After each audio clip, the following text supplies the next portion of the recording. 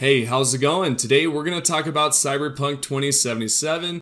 As you guys all know, patch 2.02 is finally out. The interesting thing is they've actually adjusted a few things that I feel were unnecessary, such as this one right here. Quote, crafting specs for iconic weapons will now disappear after crafting the item, end quote. This means we cannot craft the same iconic weapon over and over again, potentially using two SMGs or two swords or whatever the case may be. And so with that adjustment, it just seems weird because it feels like we're kind of in a multiplayer game, really, because why are you just removing these? Anyways, continuing on, we're gonna move on towards the next part where they actually patch this glitch right here.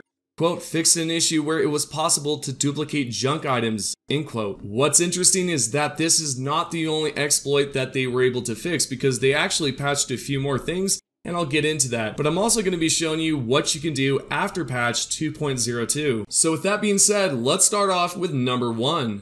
We are going to attempt at the unlimited shard glitch. You can do this with pretty much anything and it also works with tier components, but it is quite tedious. What I mean by that is that you can do this, but it does take a few shots. For example, right there, this may happen to you where you stuff the body inside the vehicle, but then when you try to grab the items, it's not unlimited.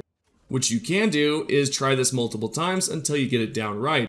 This is why I said it's quite tedious and it's also a little bit annoying. So when you do get it down, it's quite easy because all you have to do is go back and forth and pick up the items. This thankfully does work, but it does take a few shots like I mentioned. You can grab unlimited money, shards, tier components, all that stuff after the latest patch. I'm going to show you another example here that I'm able to go back and forth so that you know that this is indeed legit. So we're to head back towards the same exact spot, but at a different spot because I went towards the left instead of the right side here. Now I'm to go back and what you can see is that the items are still there. I can pick them up and grab unlimited money shards, euro dollars, and all that good stuff. Number two, the duplication glitch for pretty much any weapon works. And the reason why I say pretty much is because you cannot drop iconics. What we're going to do is just drop a knife or a gun, whichever one you prefer.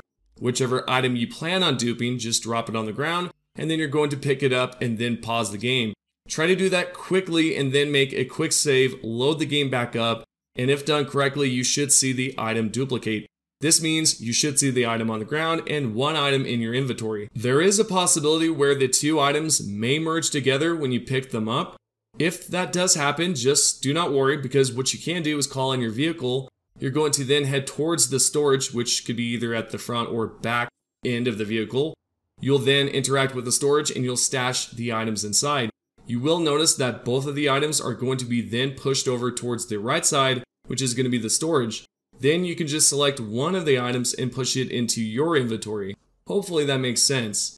Anyways, we're going to move on towards number three. This next one is quite interesting because it has to do with the drop point. What we can do is turn a rare into a epic or an epic into a legendary.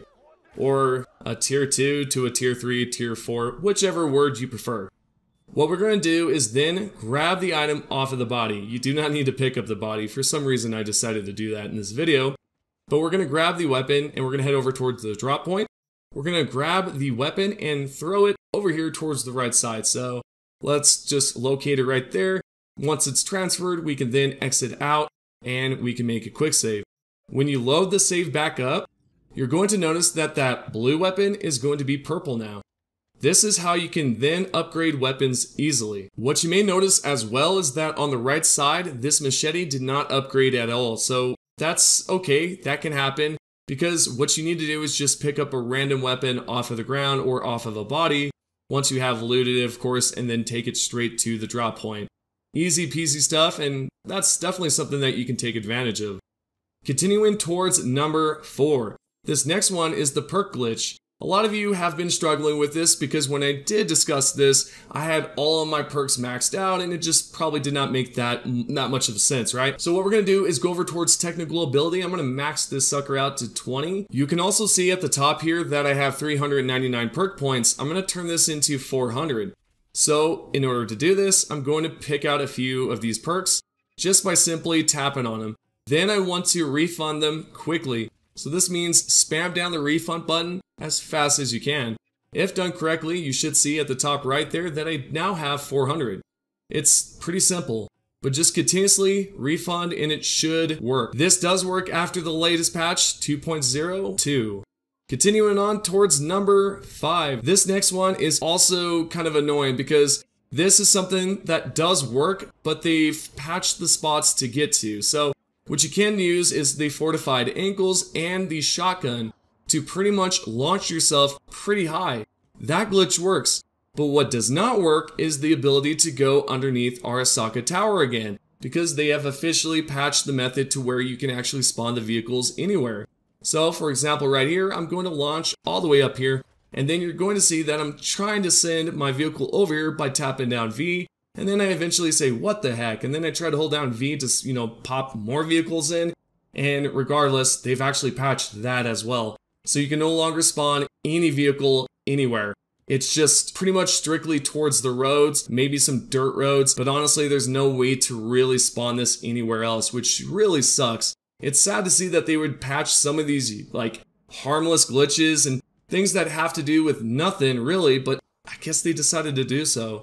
There's also this method right here, which they've also patched, which is the Konpeki Plaza. You can no longer, uh, you can obviously go inside, but you can no longer go towards the very top because you cannot spawn in the vehicles either. Obviously, I'm going to show you how to get inside because it does work.